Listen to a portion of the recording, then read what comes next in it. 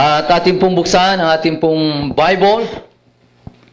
Romans chapter 10, verse uh, 15. Romans 10.15, ako po ay nagpapasalamat sa privilege na ako po ay makapag-preach sa inyo pong harapan and I pray to God na ako po ay maging blessing po sa inyo. Ah, at dito natin kukunin ang, ang salita ng Diyos sa Romans chapter 10, verse 15. Sabay-sabay po natin siyang basahin. Okay, ready now? Read. And how shall they preach except they be sent? As it is written, How beautiful are the feet of them that preach the gospel of peace and bring glad tidings of good things. Tayo po ay mag-pray. Ang maraming Diyos na mga pangyarihan sa lahat, O Diyos, kami po ay nagpapasalamat sa oras po ito. Kami po ay muli pong nag, nagkatipon upang ah, magbulay sa inyo pong salita, Panginoon. Salamat po sa inyo pong gawain po dito sa Los Baños. Ah, salamat po, sila po ay nagiging pagpapala po sa amin, Panginoon.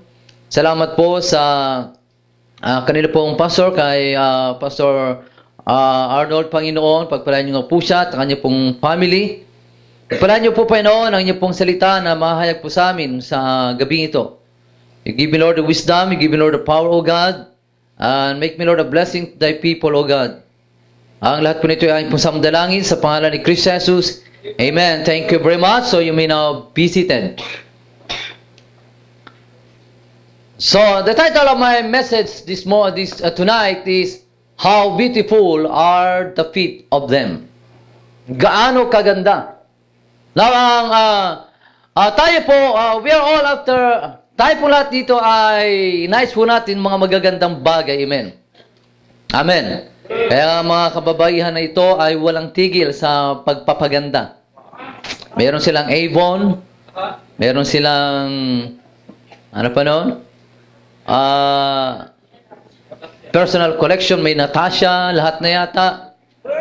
Dahil ah, nice nila sila ay gumanda. Wala, wala hong masama ho doon, wag lang hong sumobra. Ano ho? Na yung lipstick ay napasama na sa ngipin, yung kilay umabot na sa tainga, ano ho? At, well, ah, ah, okay ho yun, na ikaw ay maging maganda. At, ganyan din ang mga kalalakihan. Naiso natin na tayo po ay maganda sa paningin ng mga kababaihan. Kahit na ikaw ay may asawa na. Amen. Well, wala akong masama ho doon. Dapat nga ho ay tayo ay presentable sa harap ng tao at sa harap ng Diyos. Sabi nga ng Biblia, ang tao ay natingin sa panlabas na kaanyuan. Amen. At ngunit ang sinabi dito ng Biblia, how beautiful are the feet of them. Gaano kaganda ang paa nila na nangangaral ng ibanghelyo ng kapayapaan. Now, ang may sa ang ah ah ah, sumulat to ng talatang ito ay walang iba kundi si Apostol Pablo. Ngunit dapat po nating isipin na si Apostol Pablo ay ah, ginamit to ng Diyos upang ah, ah, ang talatang ito ay kanyang may sulat.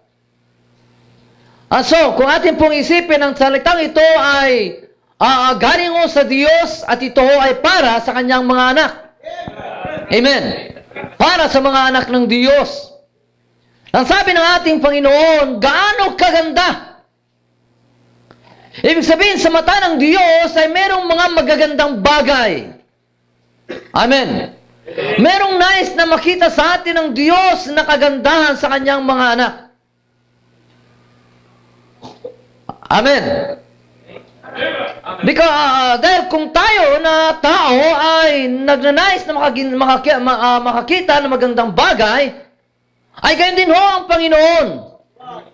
Kaya nga nung siya ay lumikha ng langit at ng lupa, on the last day, ang sabi niya, Oh, gaano kaganda ang aking nilikha.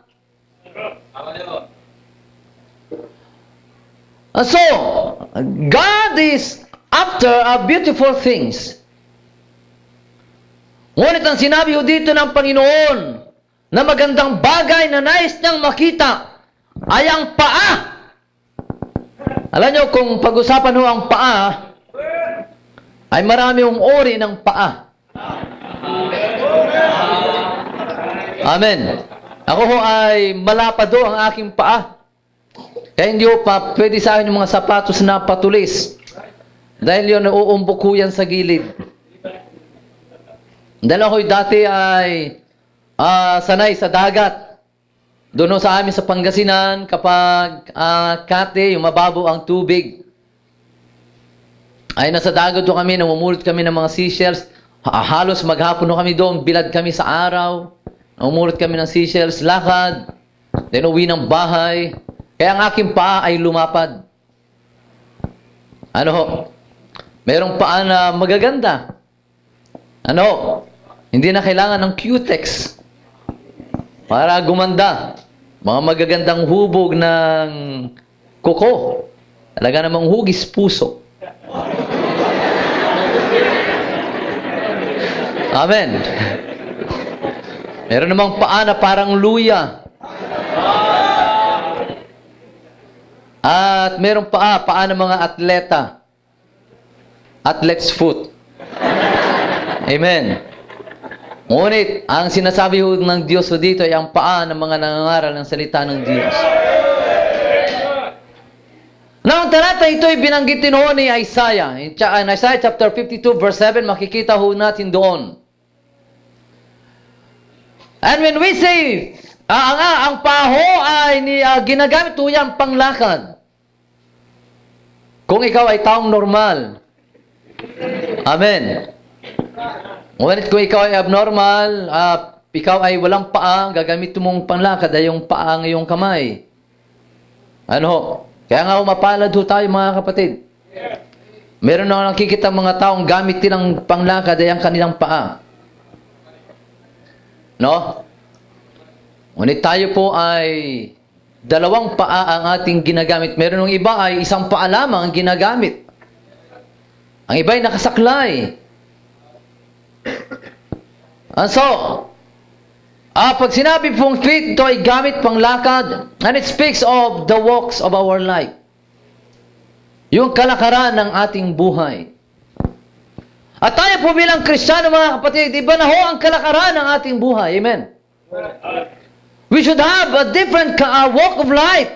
Hindi natin pwedeng itulad ang ating kalakaran sa mga hindi mananampalataya. Iba ho sila kapatid. At iba ho tayo. Hindi tayo pwedeng makipagsabayan sa kanila. Amen. Alam niyo, mga, mga kapatid, kung pagdating din lang sa mga kagandahan, ang mga artista ay ubus ho yan. Inuubos nila ang kanilang kayamanan, sila lamang ay gumanda. Meron silang belo, meron pa silang kalayan. Lahat na yata ay kanilang napunta pa yan ng Amerika para lamang iangat ang kanilang ilong. Dahil nais nila, sila'y gumanda. Ngayon kung ikaw ay kristyano at gaya ng iyong gagawin, kapatid, imbes na yung ipampaangat mo ng ilong, ilagay mo sa gawain ng Panginoon.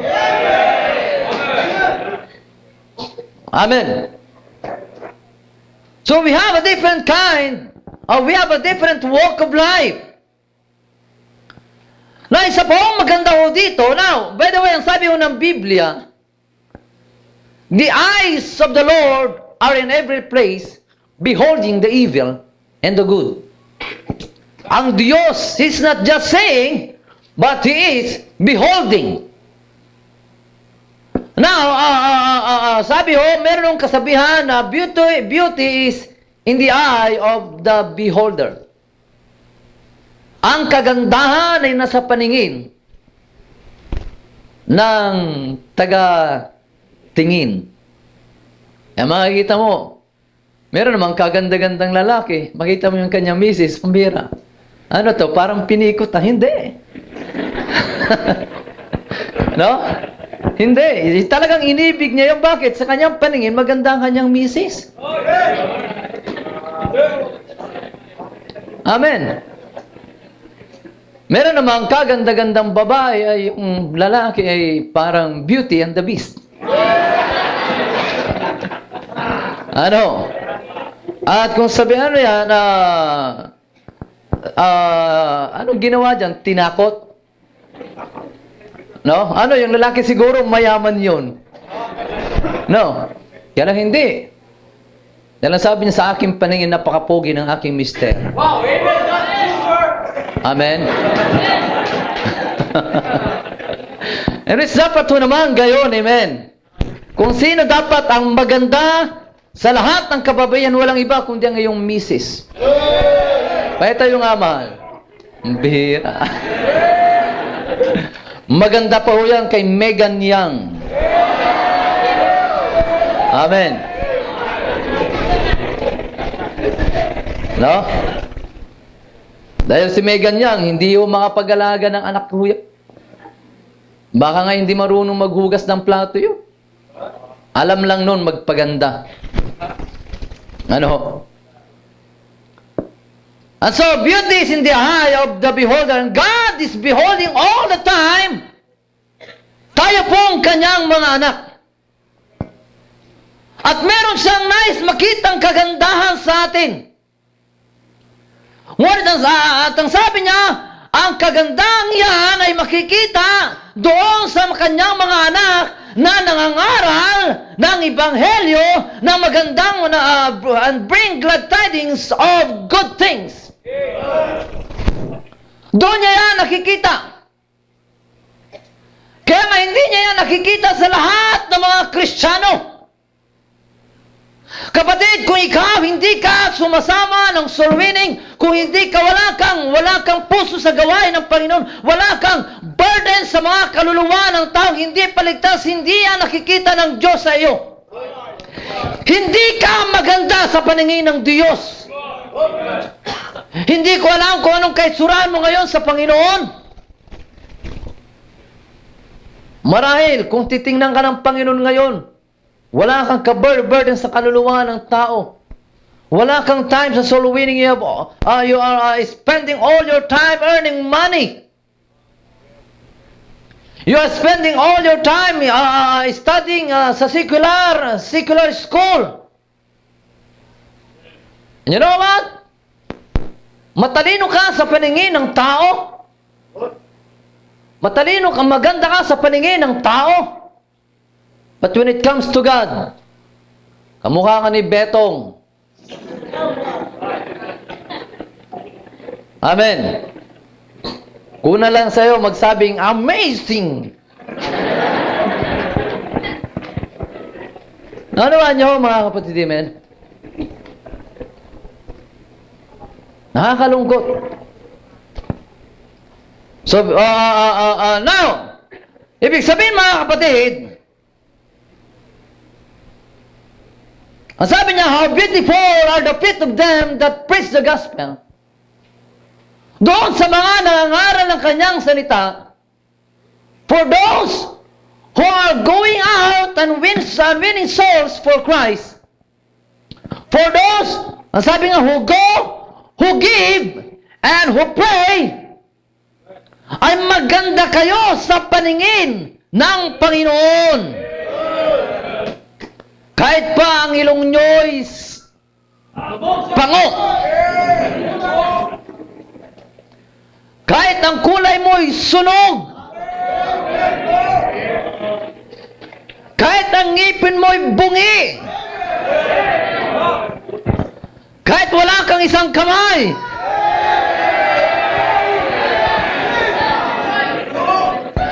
Nung kamayan kanina, kakamayan ko sa saan ang kamay nito.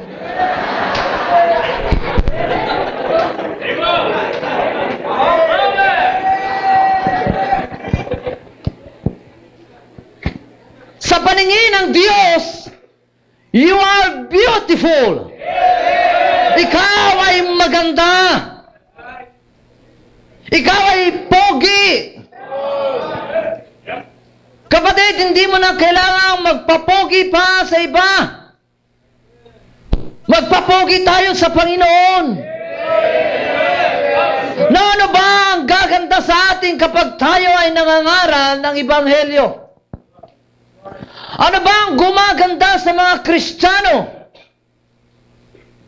Sa mga Kristiyano na mayroong burden na, na they're, they're involving themselves winning souls for Christ. Pasensya na ako, ako may, may singaw sa dulo ng aking dila.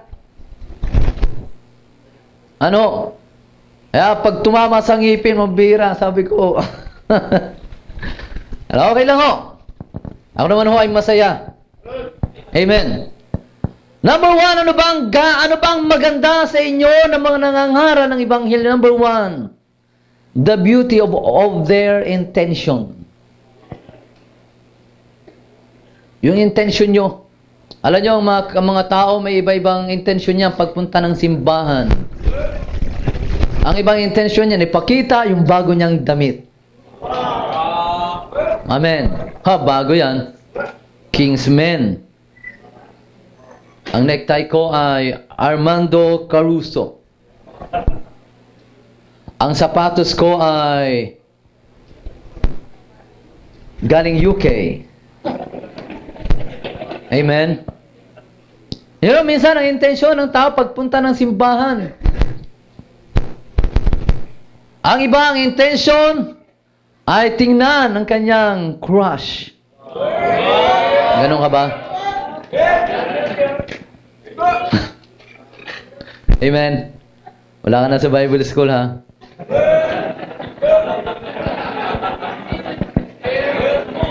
Yun ang kanilang intensyon. Yung kanila, ah, napunta ng church, maagang maaga yan sa simbahan, kapatid. Para hanapin ang kanyang crush. Yung iba napunta ng simbahan para doon matulog. no. Yung iba napunta ng simbahan. Oh, marami-marami may kanya-kanyang intensyon. May pag, may pagkamayan kay ah, sa sa pastor, pag hindi nakamayan, magtatampo na yan. Bakit? Yun ang intensyon niya eh. Amen? Yun yung kanyang intention to please the pastor. Para maging sikat. May kanya-kanyang intensyon pagka pag-awit ng choir. Bakit? Para makita, malaman, oh, magaling ang kumanta.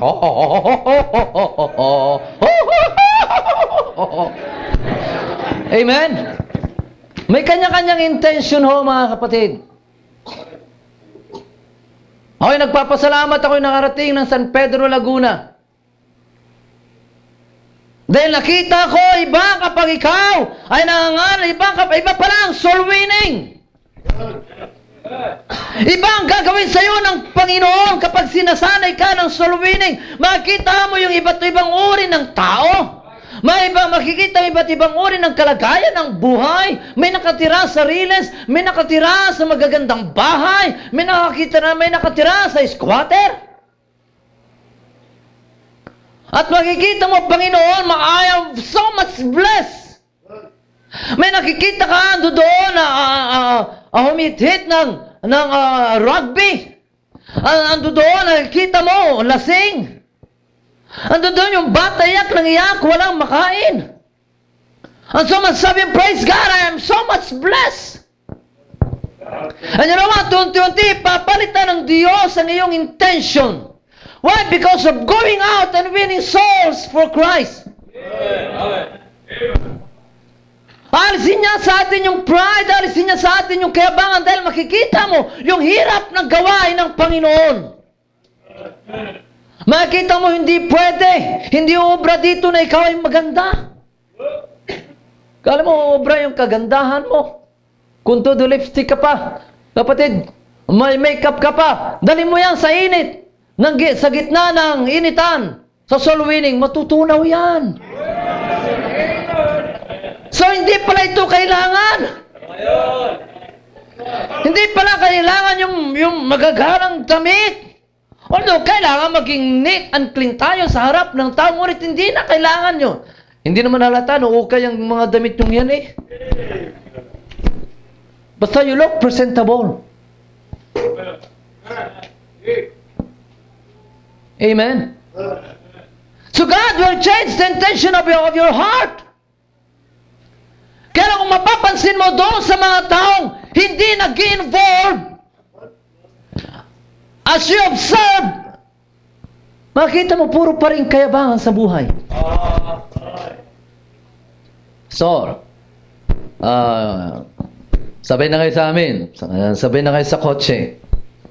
Maganda ang kotse na yan ay gamitin sa soul winning.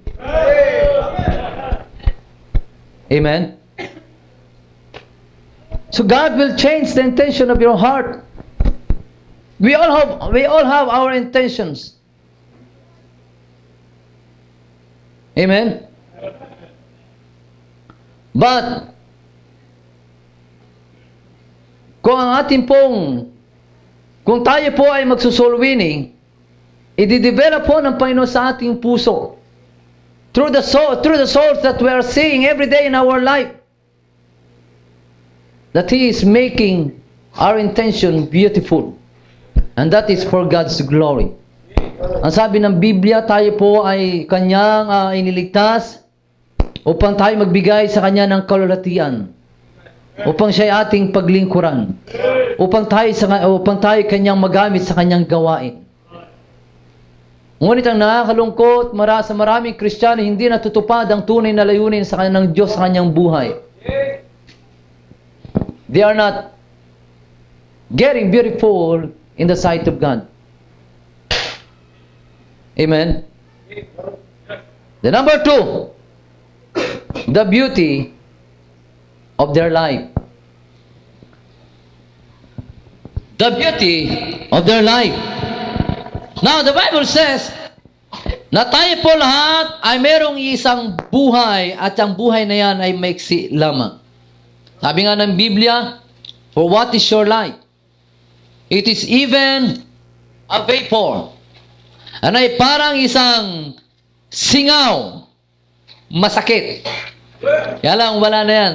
Next day, guro, pag-pray nyo. Nilagyan ko nga kagabi ng asin eh. May nagturo sa akin, asin daw. Ay, pambihira ang sakit. Sabi ko, parusa. Kaya lang, ayos oh, medyo nawala yung nawala yung sakit. Kaya nga, medyo maayos na akin salita ngayon eh. Kanina ho, buyoy ho ako, buyoy. So ito ay parang isang singaw. Na hindi diyan, karakadakay, mawawala. Yan ho ang buhay ho natin. O, itong si Napoles, ano? Grabe! Akala niya hindi na siya mamamatay. Kung ilang bilyon ang kanyang ang kanyang kinamkam mula sa kaba ng ating ng ating ah, ng ng kabangyan ng tawag diyan ng kabangyaman. Na yan ay galing yan kapag tayo bumili ng Jollibee, may VAT. Andun lang pala lahat napunta kay Napoles. Kala niya kasi, may ka, mahaba ang kanyang buhay. Ay may diabetes na nga eh. Ang so maiksi na ang buhay.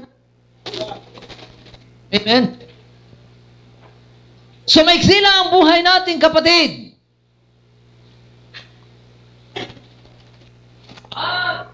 Ang buhay na yan ay yan ay hiram lamang natin sa Diyos. Ibig sabihin, hindi natin alam kung kailan ang kukunin. Amen. Our life is so imminent.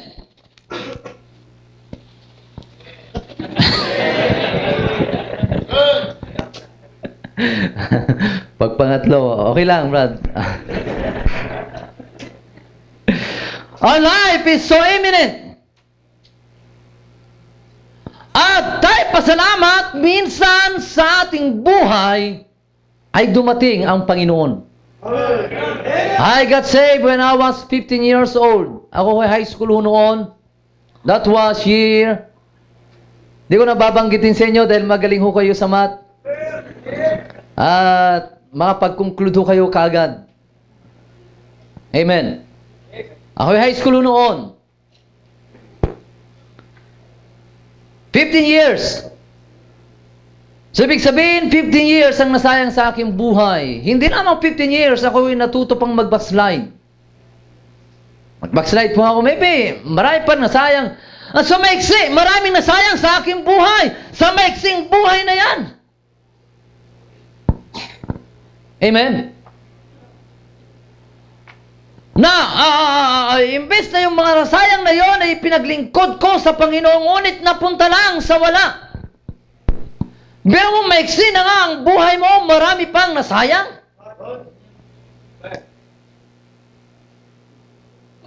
Well, praise God, I got saved. Well, ma ma- mahalaga ang buhay na ito kahit maiksi lamang. It is in this life that we serve God. Uh, it is in this life na pa, tayo po ay pwede makapag- makapag-akay ng mga kaluluwa para sa Panginoon. It is in this life that we can be an influence to other. Ngunit ano magiging kagandahan ng buhay na ito kung hindi natin ito gagamitin sa gawain ng Panginoon? Kapatid, huwag niyong ubusin ang oras niyo sa inyong trabaho sa labas. Huwag natin sayangin. Huwag natin ubusin ang buhay natin acquiring uh, uh, uh, knowledge from this world. Amen? Kung ano-anong kursong kukunin. Ara, na tingnan nyo. Pag makikita ko yung si, sino yung abogado ni Kapu, ah, Kapunan ba yon? Para ba pag nakikita, tama itong babaeng to. No? Pilit niyang palabasin, pilit niyang pinapalabas na si Napoles ay not guilty. Ganon siya, di ba? Now, ano yung gamit niya doon? Dahil sa mga knowledge na kanyang na-acquire mula sa batas, ah, ganito yan, pwede nating baligtarin yan, pwede nating gawing wala kang kasalanan. That's the knowledge of this world. And then, ubusin mo ang iyong buhay sa pag-google, pagkuha ng mga karunungan sa mundong ito. Ano yung sabi ng Biblia? The wisdom of this world is foolishness unto God. Amen? Aral ka sa UP, tapos mo sa UP, pumunta ka pa ng Ateneo, naglasal ka pa. Hindi mo alam ngayon kung kanino ka papanig, lasal ka ba o UST?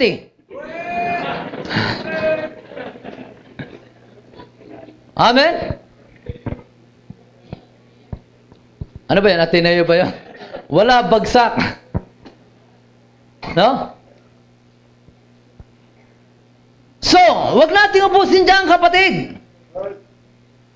Ang napakaganda sa mata ng Diyos ay ikay magbigay ng buhay para sa pag-aakay ng mga kaluluwa ng tao. Kapatid, kung sa tingin natin madami tayo dito ngayon, mas marami ang tao sa labas. Nagkakampanya sila ngayon. Barangay captain. At marami ang botante. Ilang kaya doon ang ligtas? Amen? Ilang kaya doon ang pupuntahan ng impyerno? Imagine kapag ang isang kaluluwa ay pupuntahan ng impyerno, he will be there eternally. Eternally, gaano katagal yung eternal na yan? At doon siya maghihirap. Amen? So, anong ganda ng buhay natin? Kung hindi tayo magbibigay ng oras para sa Panginoon. Napunta ka ng church, every Sunday, sabihin natin every, every Sunday and every, every Sunday afternoon. But after that, wala na.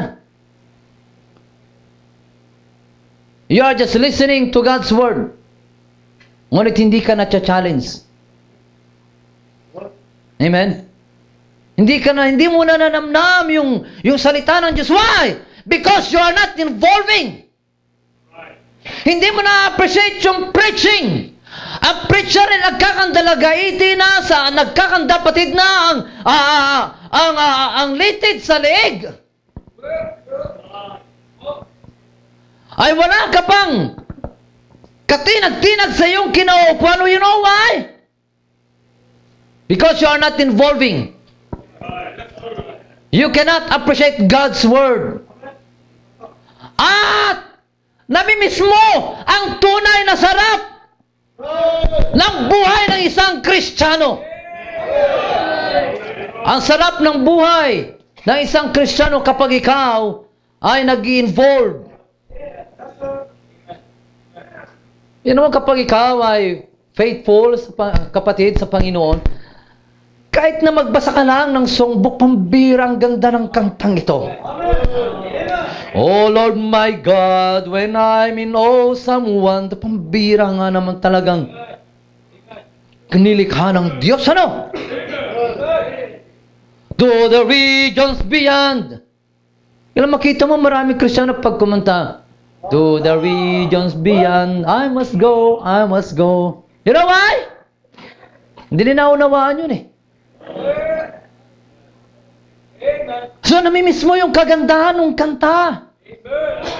Bira, pag, nalab, pag lumabas ka, narinig mo, hindi mo ba alam dahil sa'yo, pambira, tuwang-tuwa ka. Yun ang na-appreciate mo.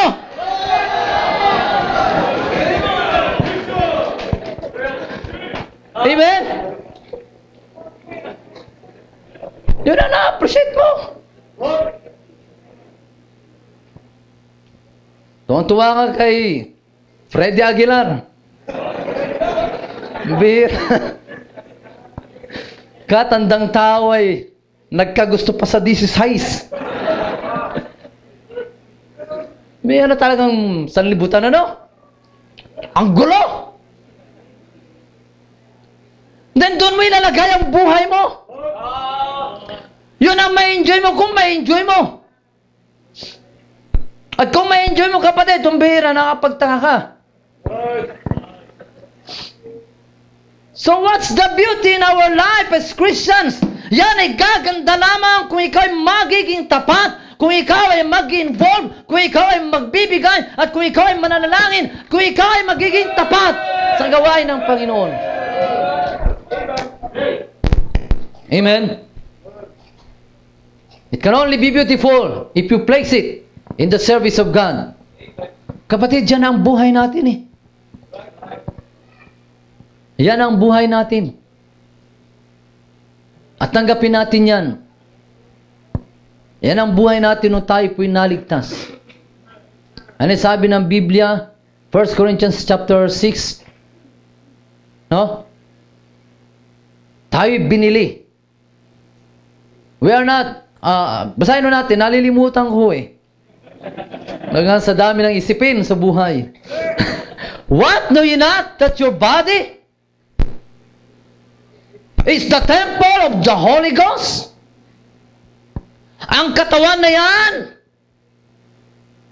ay tahanan ng banal na Espiritu ng Diyos which is in you. Not beside us, not hindi sa taas, hindi sa likod, but in you. Which ye have of God and ye are not your own. Hindi ikaw ang nagmamayari sa iyong sarili. You are bought with a price. Kaya nga sabi niya, lulatin mo ang Diyos sa iyong katawan. Itong katawan na ito. And sabi niya, Romans chapter 12, I beseech you therefore, brethren, by the mercies of God, that you present your body. Sabihin itong ating physical life, our body, ibigay natin, ihain natin buhay sa gawain ng Panginoon. Dahil pag hindi natin yan ginawa, kailanman hindi mo ma-appreciate ang buhay ng isang Kristiyano. Magtataka ka, no? Yung, yung, yung, yung isang Kristiyano, mahirap lang naman ang buhay. isang kahit, isang tuka. Grade 1 lang ang inabot. Kaya lang, mas masaya sa'yo. Ika'y nakakotse. Ikaw na may simangot ng simangot. Birang buhay to. Alam mo kung bakit faithful yun eh? Doon sa San Pedro, meron, itong, meron doon isang matanda. Si Nanay Maria. Matanda na. Nagalaga yung kanyang pamangkin. At yung pamangkin niyang yun, itinanan yung isa niya pang inaalagaan, pampirang problema yan. Nasunugan pa ng bahay.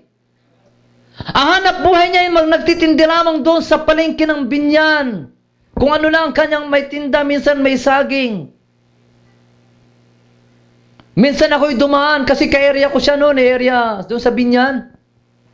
Napadaan ako doon pala siya. Ay sir, dalhin nyo na rin saging. Sabi na, yan lang ang tinda nyo, dadalhin ko pa. Ay kinuha ko na rin.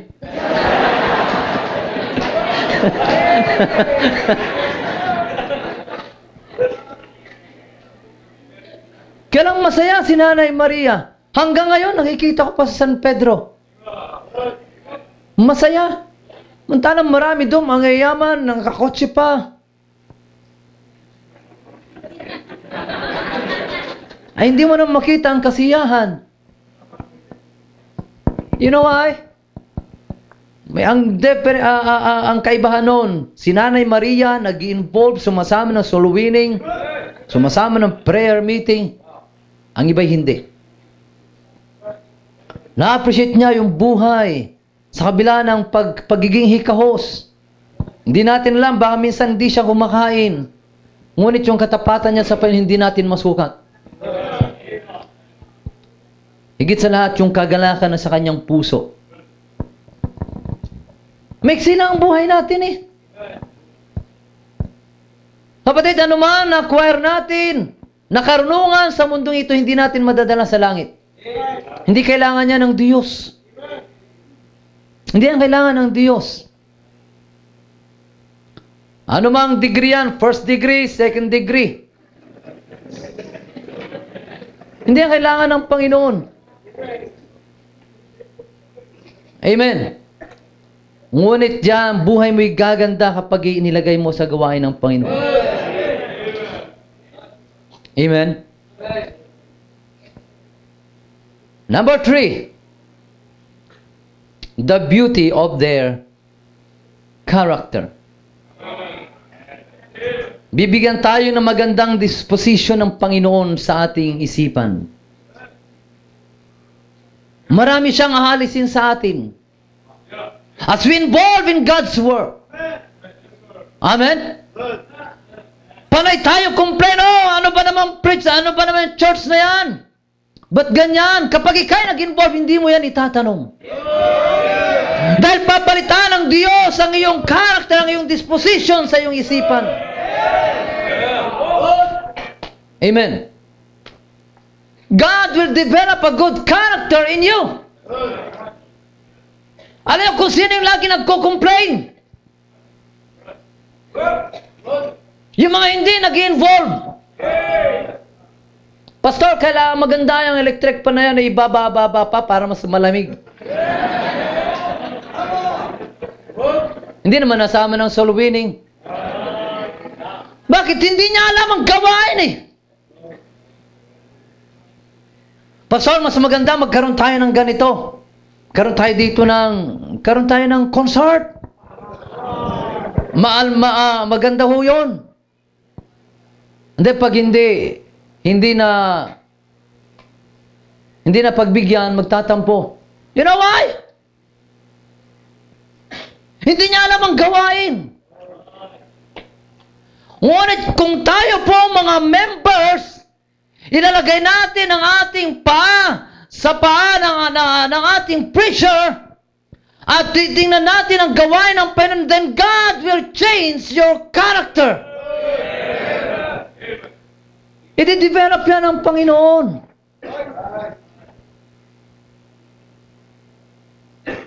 Amen. God will remove selfishness in our life. Tatanggalin ng Panginoon yung selfishness sa ating buhay. Ay, pag-aralan natin ang buhay ni Paul at ng mga apostles. Kung paanong hirap ang kanilang naranasan. Kung, ba, kung bakit sila ay nakulong, kung bakit sila ay, ah, ay pinatay, kung bakit sila ay pinugutan, kung bakit sila din ay pinako sa cross, ano ba yung nakita nila? Nakita nila ang pangangailangan ng gawain ng Panginoon. Hindi pangangailangan ng kanilang sarili. Kapatid, kung sarili, kung sarili rin lang, itong si Pedro, bumalik yan sa pagdadagat. Si, si, ah, ah, itong si Apostol Pablo, kung sarili lang, babalik siya sa pagiging pariseo.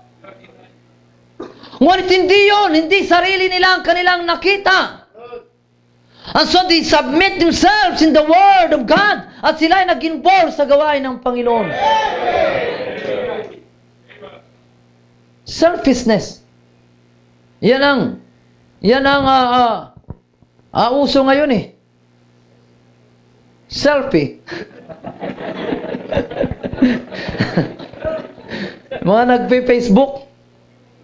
Bang kahit ba ulam sa tanghali, pipicturan, ha, itong ulam ko, ibubroadcast ko to sa buong mundo. Ano? Ang uso ngayon eh. Spending much time sa FB. No? Hindi na yan nagbabasa ng Bible, hindi na yan nagpipray. Puro na yan FB. Hindi ko na nga alam anong status ng aking FB. No? Huwag natin ubusin ang buhay natin dyan, kapatid. Selfishness. Yan ay alisin sa atin ng Panginoon. Alam niyo ba, ang being selfish, maraming nagiging bungang pangit na ugali yan sa ating mga Kristiyano. Inuubos, na, uh, inuubos natin ang ating oras sa ating sarili. We are thinking much of ourselves. Ginagawa tayo niyang maramot sa gawain ng Panginoon. Hindi ako magbibigay. Bibili ako ng makeup eh. No? Ako magbibigay sa gawain. Kailangan ko ng bahay, magandang bahay. Kapatid, alam nyo kapatid, maging faithful ka lang sa Panginoon, tutulungan ka ng Panginoon eh. God knows what, uh, uh, yung, yung pangarap mo sa buhay, God will help you. Just be faithful to God. Amen? So the beauty of their character, yan isa sa pagagandahin sa atin ng Panginoon. And you know what? We will have someday a beautiful reward up there in heaven. Hindi mo doon madadala ang iyong karunungan, hindi mo madadala doon ang iyong kayamanan, iiwan mo lahat yan dito sa lupa. Kasama yan sa matutunaw dito sa mundong ito. But someday, kung ikaw ay tapat sa Panginoon, ang sabi ng Biblia, ikaw ay magkakaroon ng magandang reward doon sa langit that will last for eternity. Amen? We are not after that reward, but that's the promise of God. Kanino doon sa mga nag-involve sa gawain ng Panginoon? Amen? But don't concentrate on this world. No? Mag-isip ka ng mga bagay na madadala mo sa langit. Biro mo yung isang kaluluwa na mawiwitisan mo. Sabihin mo nung hindi mo nadala yan sa, sa, sa church. Sabihin natin, hindi mo na-invite sa church. Ngunit di mo alam, nagpunta yan sa probinsya at yun ay doon siya naging faithful. You know what? Makikita mo yung someday sa lahat. Oh, Brad! Remember me? Hindi kita naaalala. Ikaw yung nag-witness sa akin. Makikita mo yung someday Christian sa langit. Ang sabi ng Panginoon, Therefore, my beloved brethren, be steadfast and move always abounding in the work of the Lord, for as much as you know that your labor is not in vain. Amen? Hindi yan magiging mababaliwala. Yung init ng araw habang ikaw nagsusuluwining, makita mo yung nadala mo sa church na bago ang buhay. Hindi ba't nakakatuwa yun? It's somehow, ah, ah, ah, ah, ikaw ay nagiging proud, oh, ako nagdala dyan, ako nagdala dyan. Huh, amen, praise God. Di ba? At nag-enjoy ka? Ngayon, kung wala, wala kang gayon. Ikay tunga nga.